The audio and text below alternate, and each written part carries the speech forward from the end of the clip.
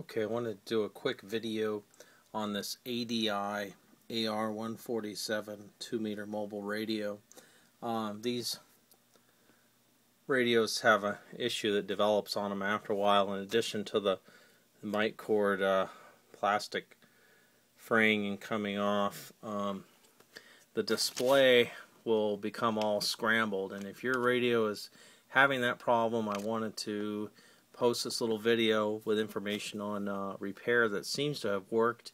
I got this information from uh, another ham, a guy named Ducky.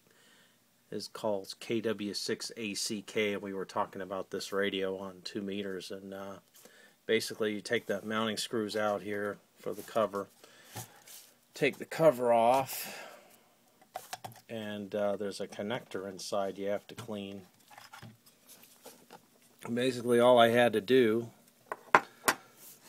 maybe more to this that I'm not aware of but well it looks like there's one under this plastic but this cable where it connects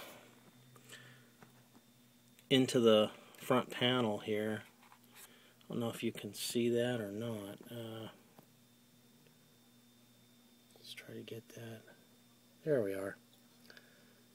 Just unplug uh, this cable from the front panel and then I use some deoxit on it. I don't know, you might be able to use other cleaners, but uh, it hasn't uh, it hasn't fouled up since then, and uh, been using it quite a bit. So, uh, and I guess you know, if you need to, you can cut this heat shrink here, but I didn't even do it.